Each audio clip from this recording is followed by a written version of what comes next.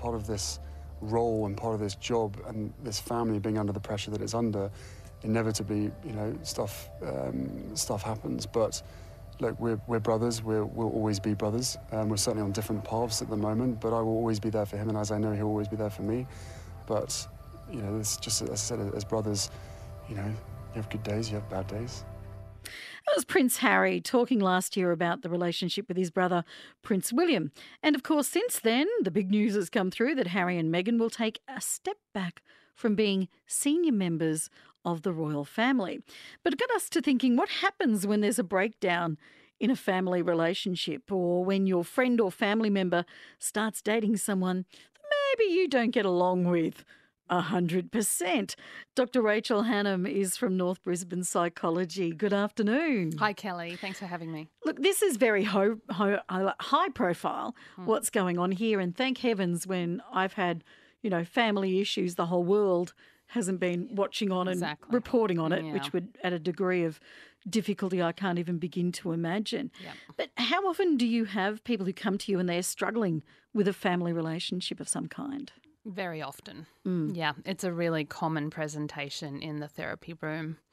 Are, are these issues that have started a while back, or can they be things that have just come up, as we mentioned, because there's somebody new in the mix as well? Yeah, so sometimes there's a particular catalyst or precipitating event.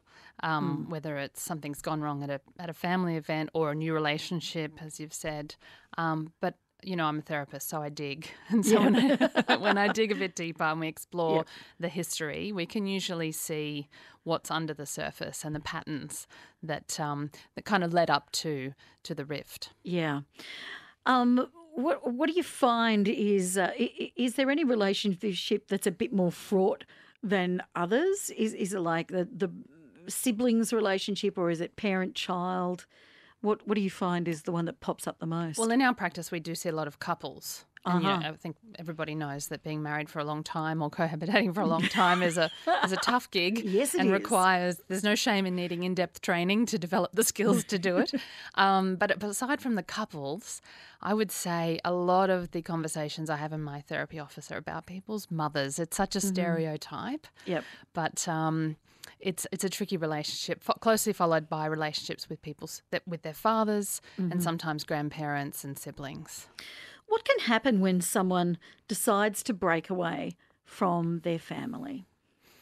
Well, uh, usually it's quite an agonizing decision for mm-hmm. that individual, and I have sat with a lot of people going through that agony um, because a lot of really primal feelings come up, like abandonment, you know, I'm, mm-hmm. I'm abandoning them or I'm being abandoned, rejection, isolation, a lot of fear and anxiety come up most of the time when people have decided to either completely estrange themselves or even just to take a break from mm. from their family although sometimes having some time out from each other is, is a really great thing to do yeah um, i'm just thinking about sort of that, that harry and meghan aspect of it given that their family you know, they they call themselves the firm. So they, it, it I is, didn't know they called themselves the firm. I think they do. I think they right. refer to themselves as the firm. Yeah. Mm. So they know that their family is a business mm. as well, in a way that very few other people would would realise. Mm.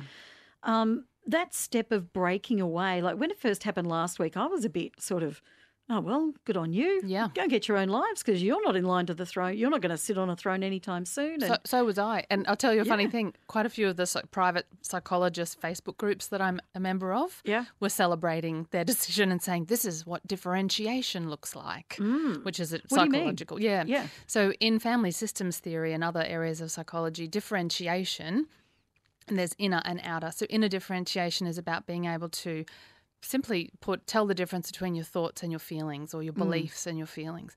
Outer differentiation is being able to see the difference between your own thoughts and beliefs and feelings and those of your family members and then becoming okay with being different mm-hmm. the key mm-hmm. is in differentiation is yep. i'm allowed to be different yep. to my grandmother parents brother sister-in-law you know mm. i'm allowed to have my own thoughts and feelings and beliefs and values and make my own choices. Choices and forge a different path. But and even though that's high profile, it's just as as difficult mm-hmm. and emotional and challenging for anybody going through it, isn't it? That Absolutely. who am I outside of my family, Yeah. or even inside if I want to be outside? Yeah, and it and it's tricky for that family, I imagine, for Harry.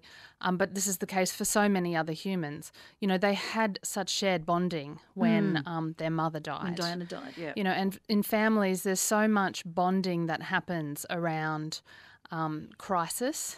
People bond through crisis, as we're seeing. People bond through celebrations. You know, they get together and watch the football. But we also, you know, can bond in other ways that are less functional. You know, we um, we want to feel connected and bonded, so we take on the beliefs and the patterns and the values and attitudes of our family.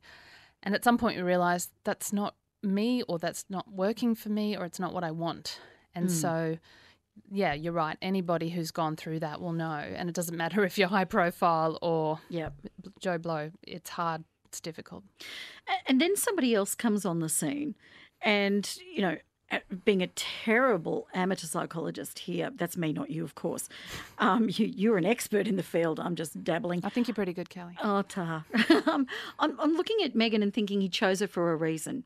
There's a reason that he chose a woman who was independent, that had her own career, that was older, that It's you know, interesting, isn't it? yeah, he, he didn't he didn't choose someone who was English, who knew the drill, uh, who knew what Naive would- 19 year old Yeah, like his mother was. That's it, because that really worked out very badly for nearly everybody concerned. Yeah. Um, yeah, that, that this this was a deliberate decision to marry somebody who maybe would give him that access to an out, so to speak, or at least a lessening of what was expected of him from the royal Hmm. I- family. I, think so. My understanding is that he has struggled with mental health issues. And he's admitted that, And he's admitted that very openly and supported mental health organisations publicly since he was 13, not long after his mother died. And I, I'm uh, assuming that if that's the case, he's gone through some therapy, he's done a Mm. lot of self um, growth, personal growth, and, uh, you know, come to realise um, some things that perhaps his predecessors in the royal family were not aware of about himself as a person. And that, yeah, he po- possibly has made a very deliberate decision there. So, what do we do when a family member starts dating someone uh, that uh, that we don't particularly like? We think, oh, they're not good for him or her. Uh, that that they they we we feel that they're making them someone we don't like or we don't agree with how they've changed them. Mm, and that's quite a common experience, isn't it? Um, well, I think it's good to ask yourself, first of all, is this good for the person? Perhaps it is good for them. It's part of their growth and part of their journey. Um, so I, I would definitely suggest people ask themselves that question if they're still really concerned. Because you know, I see families where, you know, the the eighteen year old daughter is dating a guy who takes drugs, deals drugs. You know, there's some very genuine concerns, there. concerns. Yeah. Um, so a bit of a different situation. Um, I often advise those people not to, not to give ultimatums. Avoid ultimatums; they never work Yep. in families. But state your concerns very thoughtfully, very calmly, at the right time, but just once. Yep.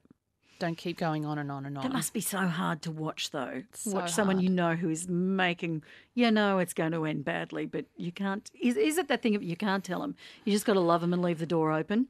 Yeah, I think you can tell them. I think you can share your anxiety, your concern out of love. You can tell them what your fears are, what you want for them. You know, come from your heart, come from that good place.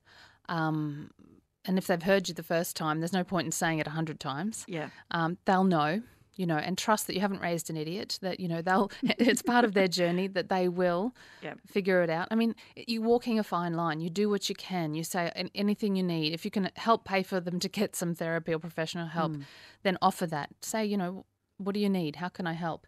But um, you know, trust, trust in life and trust in the process. Yeah.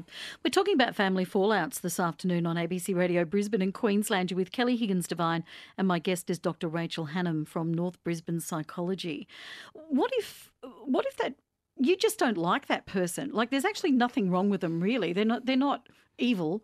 It's just that you don't get along and you think that, well, you know, you're taking my, my sibling away from me or my. Find something. Find something to admire about them. If you look really hard, most people have some endearing Yeah. or admirable quality. Mm-hmm. And try and focus on that. Yeah. It's hard. It is hard.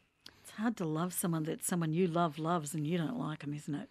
Like it's really difficult. It's really hard, and I see that quite often. Some of the older clients that I get who are in their 50s and 60s have come to me about that issue. You know, I really Mm. don't like my daughter in law or my son in law.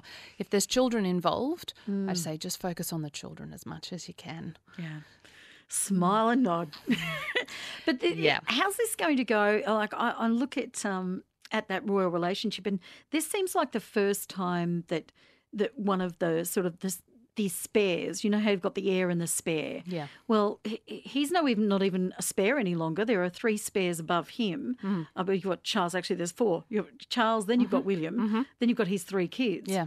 So, is this a is it difficult to forge a new path because you know Margaret, as we've all seen in The Crown, you know, languished with drugs and despair. Hmm. Uh, Edward was just sent off to France once he said, "No, I don't want to be king." Uh, that this is someone saying, "I want to be part of this," but there, there's no there's no template. And so that's what they're all Hmm. That's it. dealing with. Is my God, how is this going to work? But there's nothing to say it won't.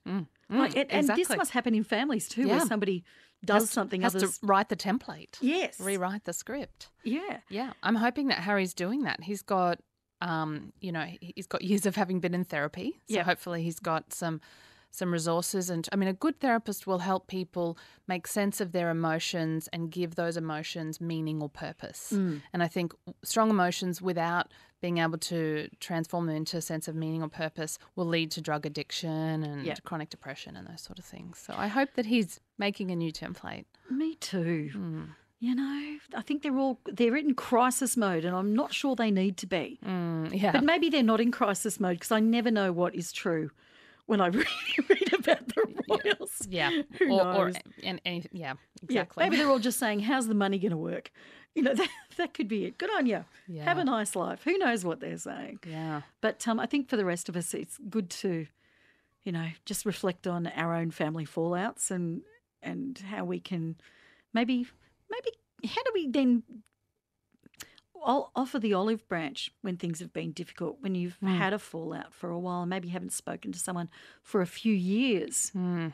how does that go When you try and reconnect. yeah Yeah. when you think oh enough now life's too short Yes, exactly. So one of the one of the I can't say this enough. I wish I could shout it from the rooftops. Humans get very defensive. Mm-hmm. You know, there's so many human. well i don't think that's true rachel nice one. thank you You should be a stand-up comic.